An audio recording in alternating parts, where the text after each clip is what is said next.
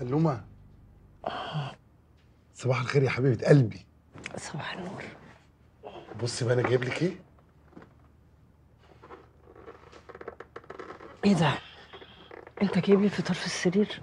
آه بس أنا النهارده ما عنديش شغل وبعدين إحنا اليومين اللي فاتوا دول كنا stress over يعني أي نعم إحنا قضينا ال honeymoon زي الفل. إخوات ما عملناش حاجة خالص خالص. بس ما اتخانقناش ولا خناق. لكن إحنا بقالنا يومين قاعدين نتخانق نتخانق نتخانق. قلت فطار حلو كده يخلينا نعدي مرحلة الاستريس دي. ليك حق.